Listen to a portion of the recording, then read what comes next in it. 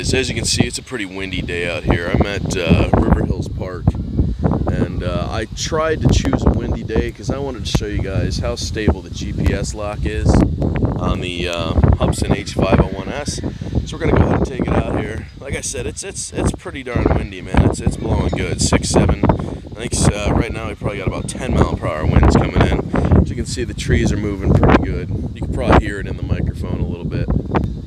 It's uh, it's definitely a good windy day out, and um, the trees up there are moving pretty hardcore. Uh, good gusts of wind coming in, so this is an excellent time to show you guys the GPS stability lock. We're gonna wait till we get some satellites, a little bit of cloud cover, but I think we'll be good. So we get the Hubsan out and get it ready. See you guys in a sec. Alright guys, the Hubsan is now bound. I've been waiting for satellites. It took a minute to acquire them. I've got now 11 on the uh, X4 and I've got 7 on the uh, controller, so we should be good to take off.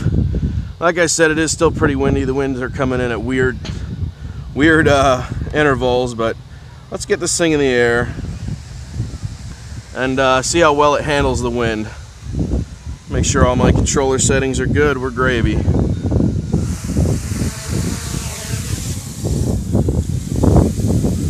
Let's see if it stays there even with the heavy wind. As you can see, the barometer is bouncing around a bit with the altitude because of the wind, but it's staying there.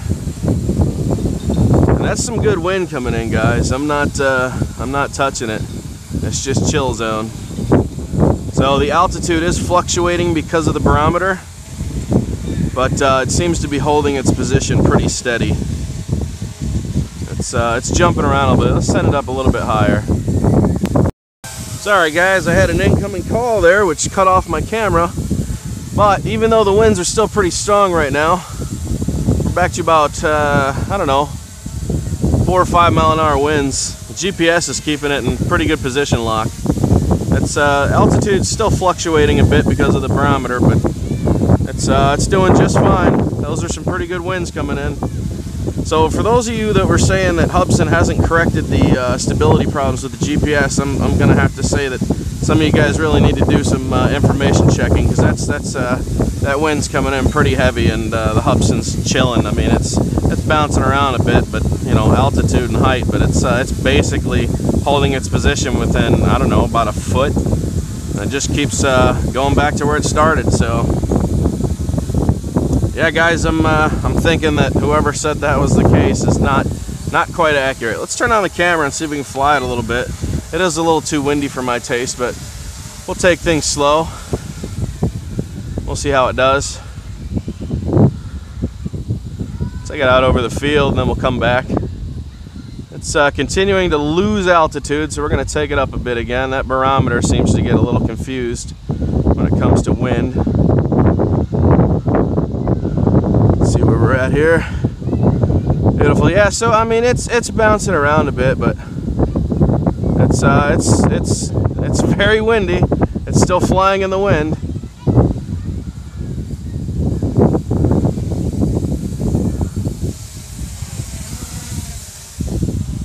Take it up again. Yep, that barometer just that seems to be the only issue I'm having is that the barometer seems to uh, fluctuate the altitude because of the wind coming in but it can fly and these are some good winds I'm flying in guys. It seems to be able to do it. It's getting pushed around a lot but it still seems to be able to fly in it let's take it over by the boat ramp see how it does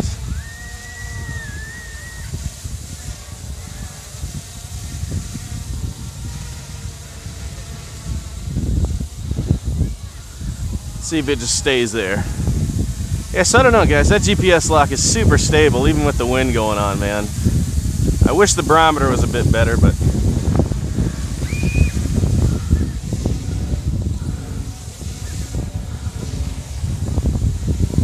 Now, this is about the windiest part I can find out here. It's got the biggest straightaway with no uh, obstructions. And it's chilling, man. It's not going anywhere, it's just holding this position fixed.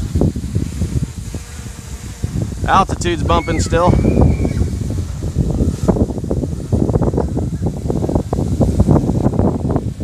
But that is officially the windiest spot that I can take you to. You guys can hear the wind whipping through the microphone and it's staying right there. It's, it's moving around just a tad bit, but it's chilling. So there you go, guys. Some good wind coming in now.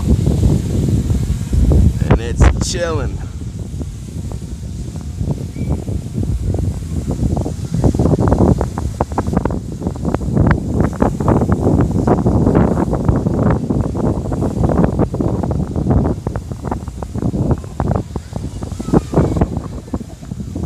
It is very windy. Slicing through it like butter. That's me taking the altitude down, by the way.